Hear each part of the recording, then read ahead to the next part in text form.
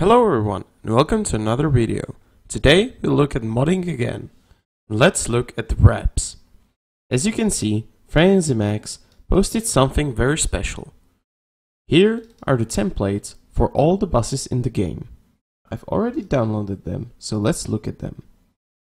As you can see, if we open the Citaro K, you can see the UV template for the bus, not, not the basic one from Astragon. So how to work with that?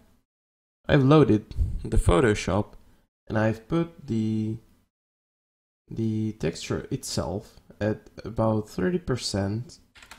So if I put it at 100, you can see that I have the UV map of the bus.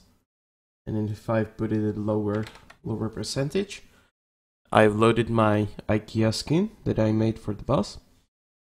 And here you can see how I worked out the placement of the logo, the cross itself, and how high it should be in order to align perfectly. So you can see that not only those colorful rectangles are required, here you can just basically turn it off and work on the skin itself with the template provided from FrenzyMax. And it's not only the Citaro K, uh, I can show you my work on the MAN A37, which is in Wiener Linien skin. So let's turn off the IKEA. As you can see, I'm using many rectangles. And I'll turn on the MAN. I didn't, I turned off something else turn that as well. Here, as you can see, I have the the MAN skin, and here I just it doesn't matter if it's bigger uh, than the template itself. So this is the reason why I don't really care about being bigger uh, than it needs to be. Also here you can see that I had to work out the perfect alignment the back. But in the end, it's nothing hard to do. As you can see, I just did two rectangles and it kind of worked out. And if you look closely at my workshop skin uh, for the Wiener Linien, uh, you can see that it aligns perfectly and works as it should. So basically I just wanted to spread the word then there are templates now existing for every boss, even the bendy ones. You can see that here is the back part of the bendy, here is the front part.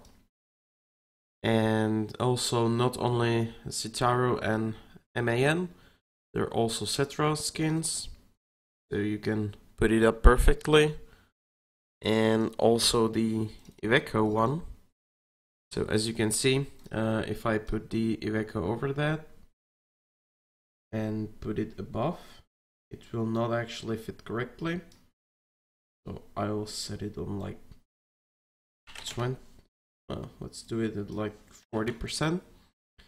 You can see that uh, it wouldn't fit perfectly. It would look uh, weird. Here uh, you can see that the roof on the front is actually above uh, the Citaro K or the MAN. So you can see every bus is unique and uses unique UV mapping. Here this white is basically roof, but it would interfere with the side with the doors.